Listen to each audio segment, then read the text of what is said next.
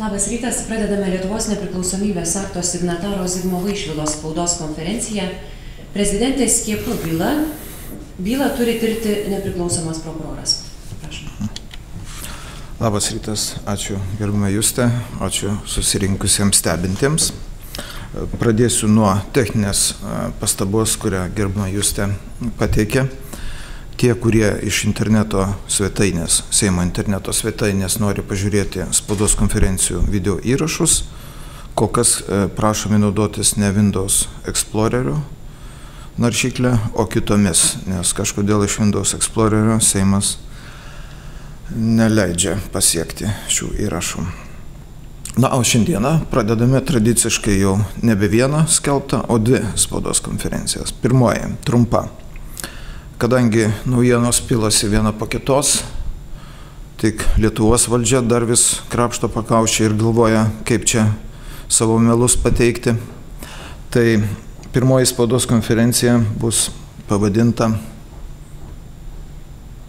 Gal taip paaiškėjo, kodėl mums ES savo direktyvomis primeta užsieniečių teisinės padėties įstatymo pakeitimus dėl kurių panaikinimo pernai lapkričio 26 renkame parašus ir kaip matote dar jų trūksta. Naujienos tokios.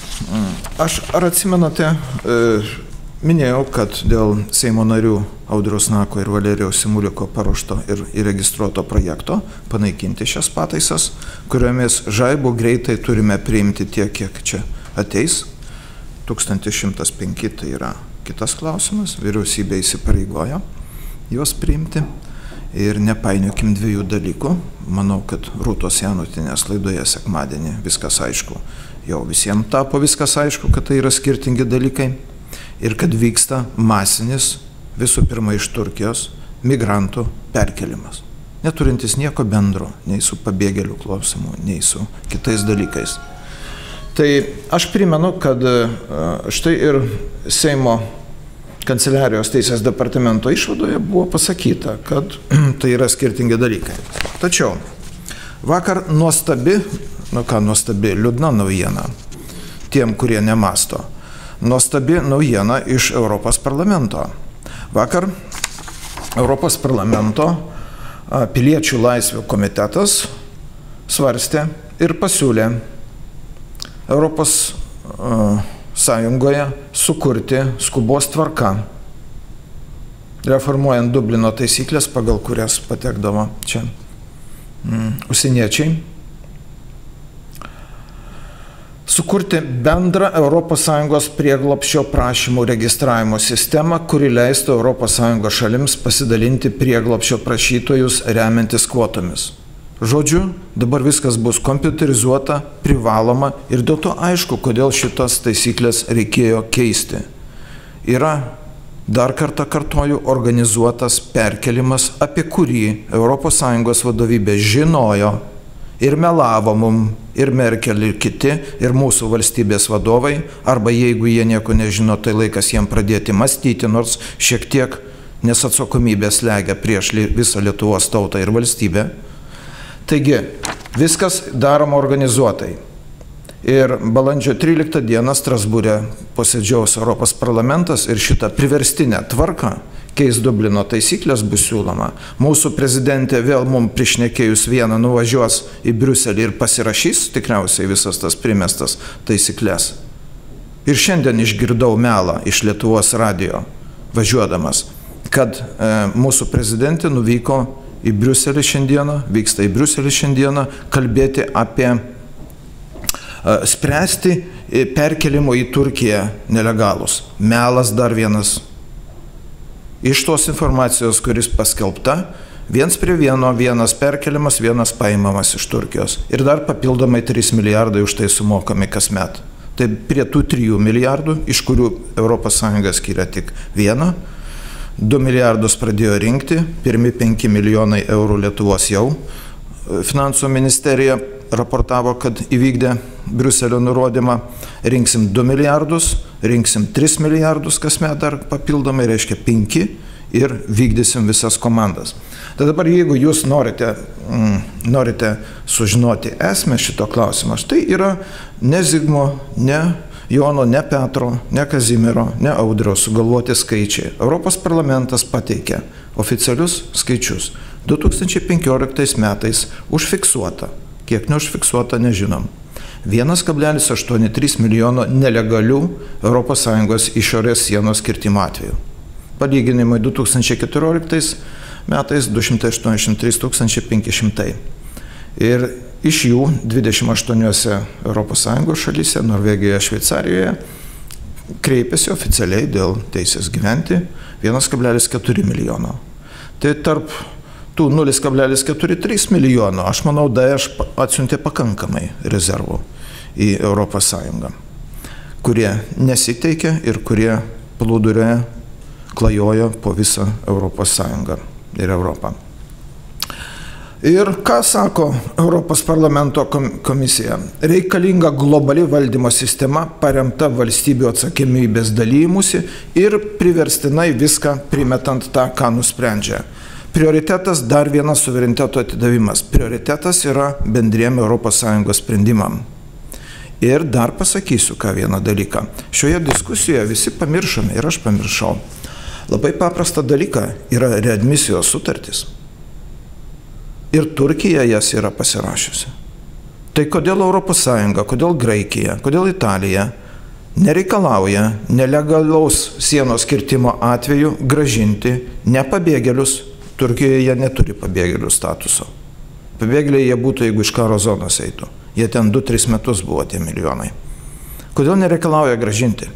Sutartis yra. Aš priminsiu paprastą dalyką. Pabradės e, pabėgėlių centras buvo pastatytas už ES lėšas. E, dar e, neįstojus mums į ES kaip privaloma sąlyga Bet pirmiau dar prieš įstojimą buvo pasirašyta readmisijos sutartis. At štai jeigu iš Lietuvos nelegalas papuola į ES, atgal jį prisimam. Kodėl šito nenaudoja instrumento? Kodėl apie tai net nešneka niekas? Nei Lietuvos prezidentė, nei Merkel, nei Olandas, niekas nešneka. Kartoju, vyksta organizuotas perkelimas. Jeigu dar kam nors neaišku, tai skaitykite Seimo narių Audriaus Nako ir Valerijos Simuliuko įstatymo projektą ir mėlyjei žmonės, neapsimeskime, kad mes esam nuo šaly. Vyksta organizuotas procesas. Todėl, jeigu Seimas, Seimas kol kas dar neįtraukė šios įstatymo pataisos. Todėl belieka atsidaryti tinklalapį b3g.lt Kviečiame tikrai nuoširdžiai tas, kas galite skirti ir paramos šiai akcijai ir svarbiausia pasirašinėti, pasirašinėti. O blokavimas e, ne tik iš valdžios institucijų šios parašų akcijos ir ne tik iš partijų e, prasidėjo, bet štai šiandien signalas iš Šiaulių. Kreipiuosi į pensininkų partijos pirmininką Vytautą Kadžį. Ar jų klausimas toks, ar jūsų nurodymų Šiaulių skyrius blokuoja, jūs esate iniciatyvinės grupės narys, ar jūsų nurodymą blokuoja pasirašymą. Taigi sistema tarnauja ne Lietuvai, valdžia tarnauja ne Lietuvos piliečiams, valdžia tarnauja neaišku kam. Savo nuomonės, savo valios neturi.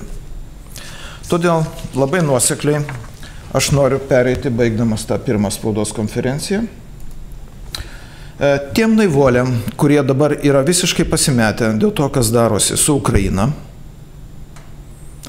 Ir dar rugsėjo mėnesį ar rūpiučio mėnesį pernai sakiau, Ukraina bus pasidalinta, turint tokią beviltišką, tokią korumpuotą valdžią, kuri pardavinėja šitą šalį į kairę, į dešinę ir kur tik nori toliau, jau ES ir didėjai ją aukoja. Viskas pasidalino.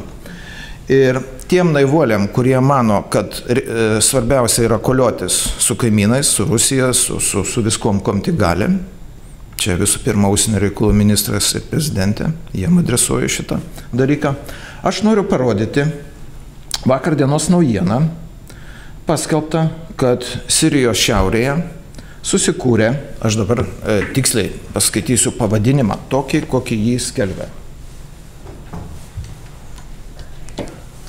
E, Sirijos šiaurėje jūs matote Rojavos teritoriją, tamsesnė spalva. Taip kaip ją pateikė Rojavos savivaldos demokratinės administracijos ambasada, spėkite kur? Maskvoje, Rusijos federacija.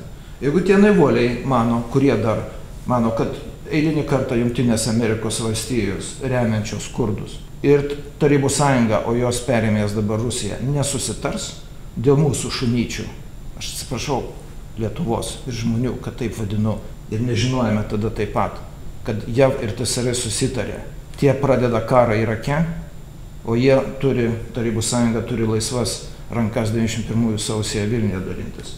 Tai štai yra naujas darinys, pradžia kurdų valstybės, su atstovybė ambasada Maskvoje, Vašingtonė gal dar nėra, Junktinės Amerikos valstijos remiančios stipriai ir ginklais ir visapusiškai kurdus.